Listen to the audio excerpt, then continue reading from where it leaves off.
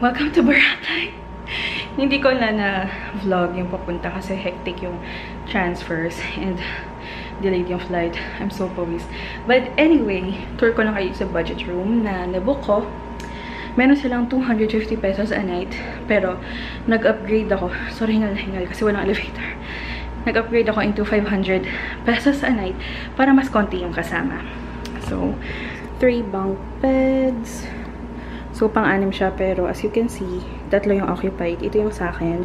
I requested for yung katabi ng wall para hindi naman exposed sa both sides. And, maayos naman. Meron silang provided na towel, toiletries, drawers, may susi. And, you have your own TV. There's an air conditioner. Meron ding sariling CR. So, let's open. Mm. This is the shower room. Decent naman. And this is the toilet. Okay. So, time check. It's actually 6.30 p.m. And nausapan namin ng friend ko, 30 minutes to freshen up and then punta na kami sa D-Mall. So, let's start.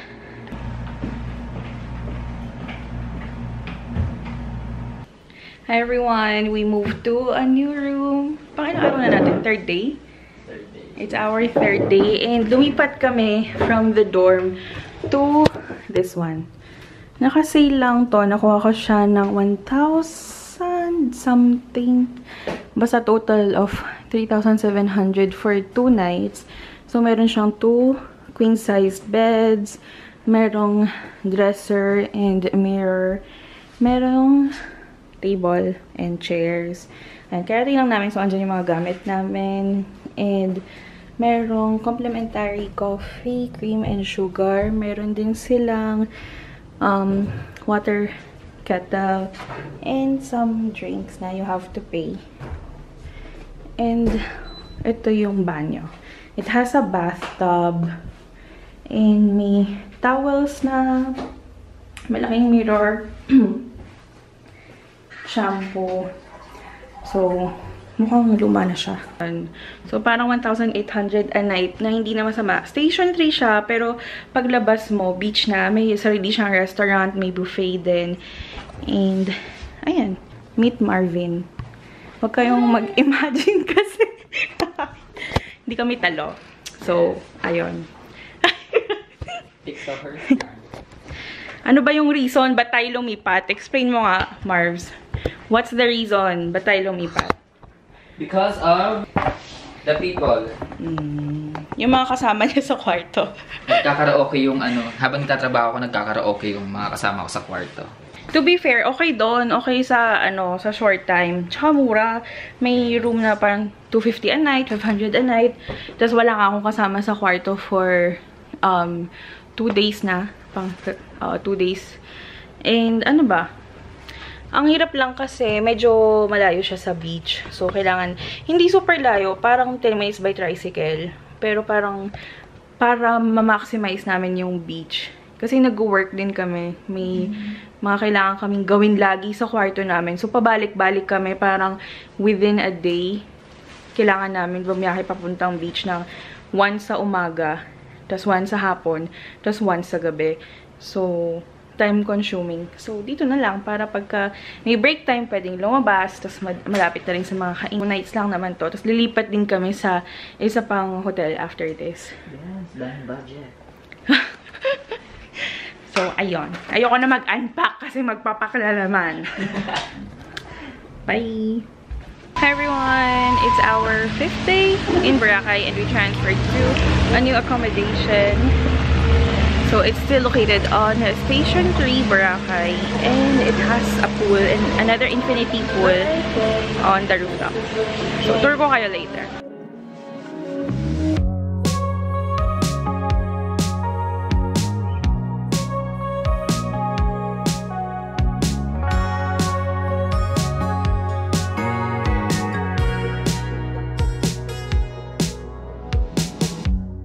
Summer rain on a window.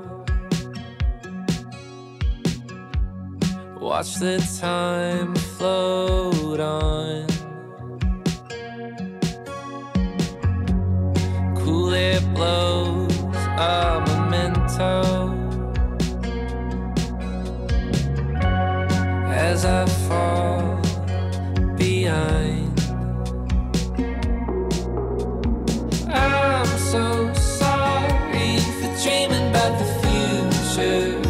just an update. Lumipat na kami and ito na yung bago naming room until umuwi kami on Saturday. So, this is located on station number 3. It's called Boracay Ocean Club. Upon entering, um, dito muna tayo sa banyo. So, there. That's me. There's a mirror, um, blow dry, some toiletries, shampoo, soap, dental. Meron ding baso for gargling. Simple lang. And there's a shower. Tapos, dito, ayan, may libreng kasama. Ayan, merong two... Double ba to? Parang hindi siya single eh. Two double beds. Tada! And merong ano sa gitna. Island table. Something. Merong flat screen TV. That's my luggage. May painitan ng tubig. Water. Kettle. And ano kayo meron? There's complimentary coffee, cream, sugar, meron ding mugs, timplahan, water, me. Ano meron sa drawer? Wala. There's nothing in the drawer. And, tada! Meron siyang, anong tawag dito? Terrace. Ayan. Paglabas nyo, ayun na yung pool. So, ayan, makikita nyo dito yung pool. And yun yung beach. Actually, meron pa isang pool sa rooftop. Infinity pool. Check natin yan later.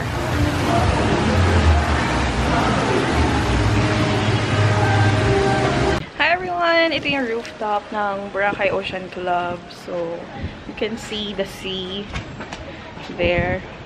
And the infinity pool. So, mahaba siya. Bar, pero ang init-init ngayon. So, hindi naman siya puntahan.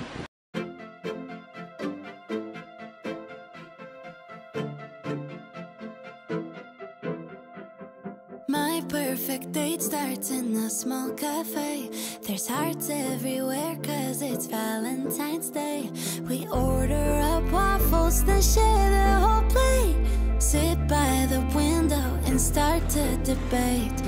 There's nobody else I'd rather spend my everyday with. I think it's sweet sometimes when she laughs. I like the way she dances barefoot in the grass. Yeah, we get along alright. Cause I've been my whole life. Afternoon sun starts to peek through the clouds. Take the back streets to avoid the crowds. Waltz over sidewalks and twirl in the breeze. She'll catch me if I get Breakfast at the hotel. There's longganisa, chicken, egg, pancakes, bread, and coffee.